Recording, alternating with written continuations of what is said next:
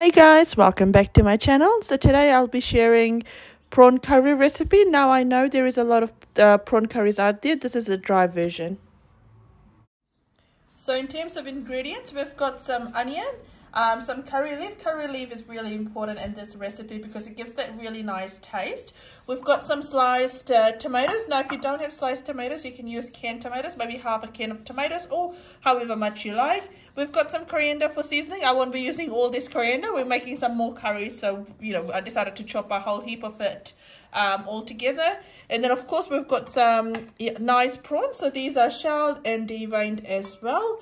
Um, and then in terms of my dabba box, so I'll be using um, mustard seed. And then I'll use uh, some uh, cumin seeds. And then I'll use some fenugreek seeds. And then I'll use some turmeric. And I'll use some Fiji, um, just the Fiji standard masala.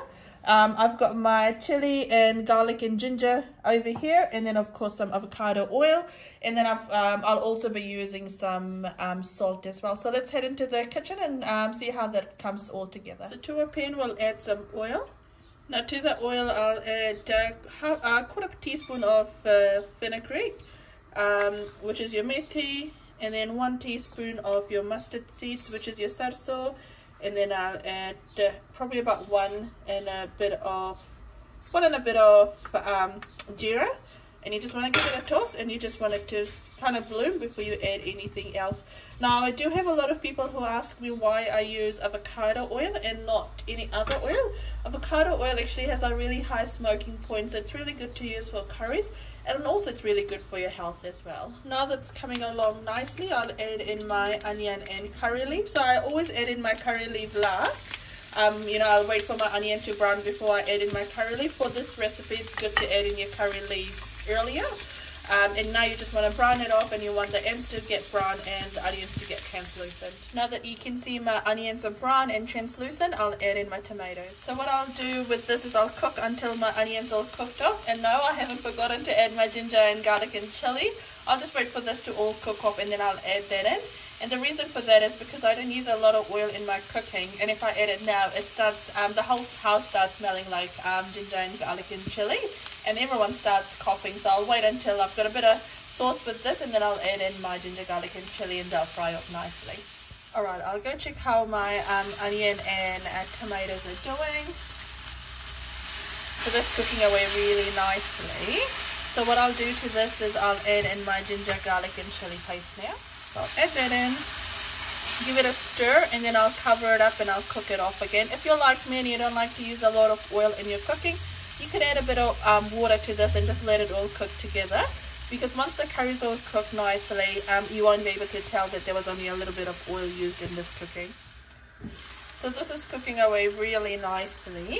Now to this what I'll do is I'll add in my turmeric and masala. So what I've done is I've actually um, I don't know if you can see that properly, but what I've done is I've actually um, added one teaspoon of turmeric and uh, one and a half uh, teaspoons of masala, and I've just put uh, put mixed it together with some water, and uh, we'll cook that off now.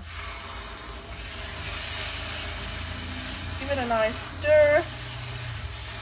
Now, if you want, um, you could, once your masala is cooked, if you want to add coconut cream, you can do that, and I'll tell you at what stage. But I'm just making a really dry um, prawn curry today, so I won't be adding a lot of um, gravy to this. Cool, so once that's um, there, give it a nice mix and the gravy is coming around um, around really nicely you can see that now you just want this to cook away um, nicely um, cover it up and cook it or you can just leave it up as well and cook it. Once the oil starts separating that's when you'll add in your prawns. I can see that the oil is starting to um, come out of my masala so I know that uh, my masala is all cooked now. Um, and I can start to smell it as well. Now to that I'll add in my prawns to my prawns. At this stage I'll add in my onion um sorry my salt according to taste. Now you can add your salt um when you're uh, making your masala as well. That's a good time to add in your salt as well. Um now if you are wanting to use coconut cream before you add in your prawns you want to add in your coconut cream. Cook that off a bit and then add in your prawns because prawns take really quick to cook. Um, so you want to sort of add it at the end stage. Make sure your, um, if your heat is sort of medium to high. And now you just want to make sure that everything's all coated nicely.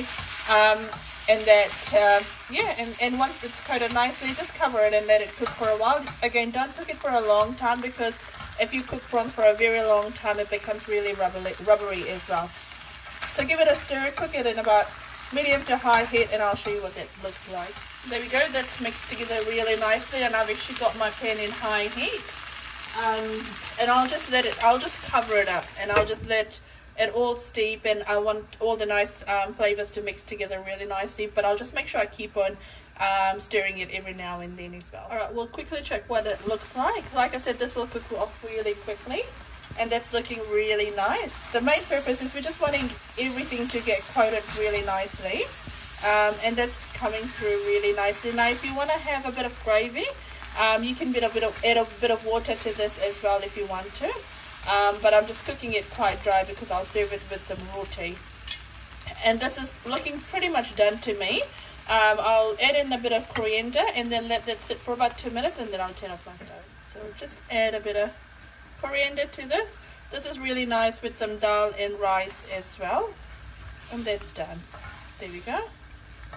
Simple prawn curry, all done. And I'll show you what that looks like and how I serve it up. There we go.